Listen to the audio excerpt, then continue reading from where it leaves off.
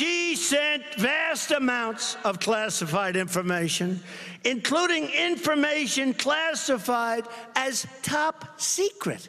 Top secret. Okay?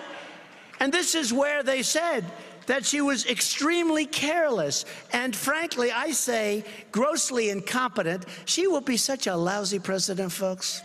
We also need the best protection of classified information. That is the worst situation. Hillary's private email scandal, which put our classified information in the reach of our enemies, disqualifies her from the presidency.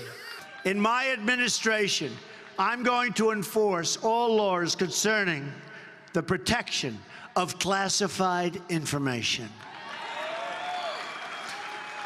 No one will be above the law.